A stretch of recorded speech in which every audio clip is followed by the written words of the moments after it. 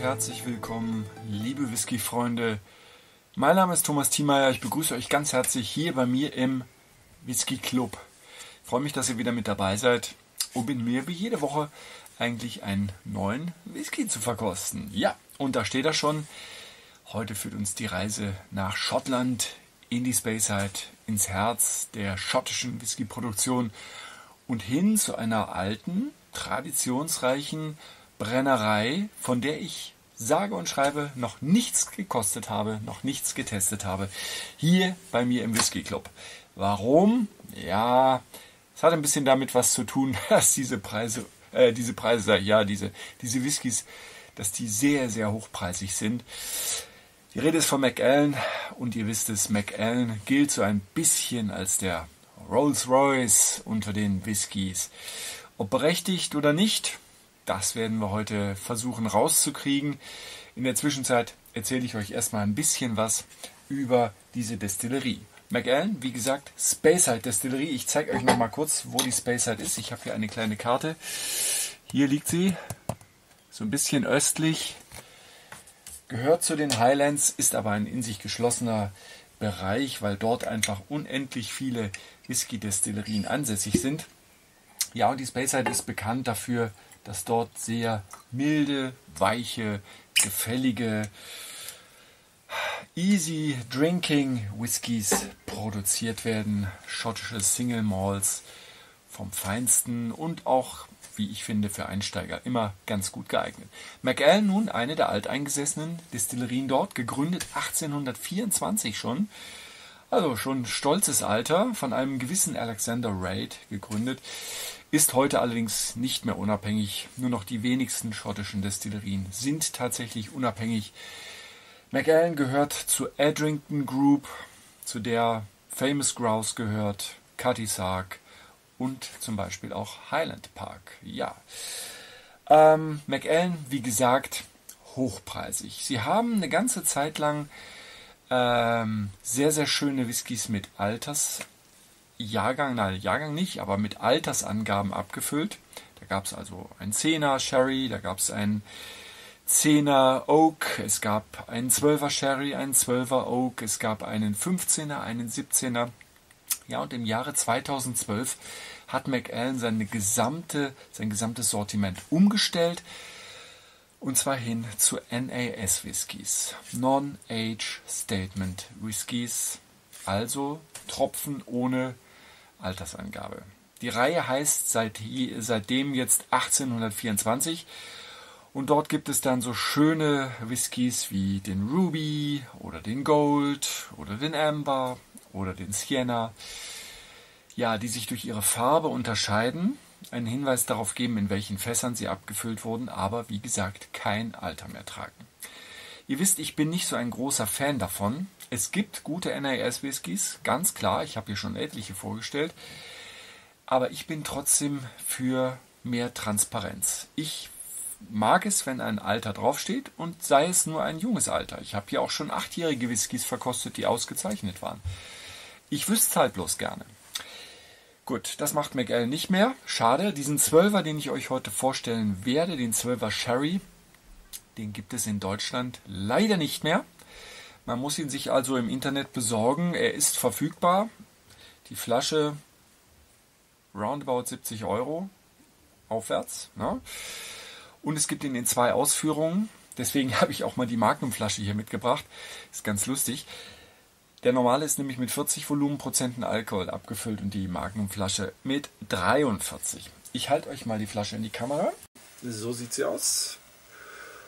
Recht schönes Flaschendesign, wie ich finde, hochschlank, elegant, wie alles bei Macallan, sehr elegant. Die Farbe da drin, ja, aus der kann man was ablesen, denn die Farbe sagt uns Sherryfassreifung. Macallan färbt nämlich nicht. Also kein Zuckercouleur E150A, sondern Naturfarbe. Ich zeige euch auch nochmal die Magnumflasche, weil es so schön ist. Das ist dieses Drum 1,75 Liter. Ja, mittlerweile auch schon sehr, sehr teuer. Man kriegt sie wohl auch noch, aber sie liegt so bei ungefähr 200 Euro.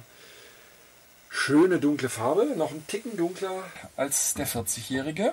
Ja, Also kann dran liegen, dass andere Fässer verwendet wurden, kann aber auch dran liegen, dass einfach diese drei Volumenprozente mehr drin sind. So. Also, was hatte ich gesagt? Nicht gefärbt, ja. Kältefiltriert ist er wohl, jawohl. Und äh, 40 Volumenprozente Alkohol. Also eine ziemlich gemischte Kiste, würde ich mal sagen.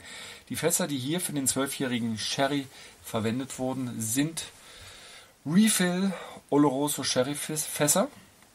Also ein eher trockener Sherry.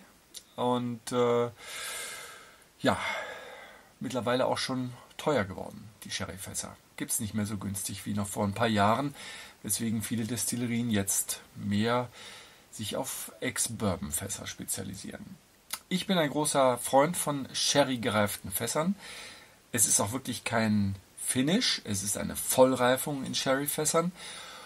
Und deswegen bin ich schon ziemlich gespannt auf den Tropfen. Während ich hier rede, weht mich schon so ein sehr aromatisches, ein sehr aromatischer Duft an. Also das lässt auf einiges hoffen. Halten wir mal die Nase rein. Ja, süß, schöne Süße, dunkle Früchte, ja, Rosinen ein bisschen, Feigen, Pflaumen, überhaupt so dunkle Beeren, dunkle getrocknete Beeren. Also das ist schon eine sehr, sehr gefällige Nase. Gefällt mir schon mal sehr, sehr gut. Der 12er McAllen Cherry war viele Jahre lang der Klassiker bei McAllen.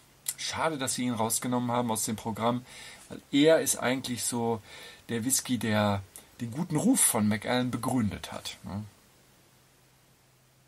Ja, toll. Ein zarter, finde ich, ein zarter Anklang von Rauch, was aber eigentlich nicht sein kann. Denn äh, McAllen verwendet grundsätzlich ungerauchte ungerauchtes Malz. Also ich würde es statt Rauch mal mit Würze, mit Würzigkeit beschreiben. Ja, sehr aromatisch, sehr voll. Und für 40 Volumenprozente auch ganz schön kräftig. Toll. Also der Whisky ist wirklich aufgeladen mit Aromen. Zumindest von der Nase her. Jetzt schauen wir mal, was er am Gaumen so kann.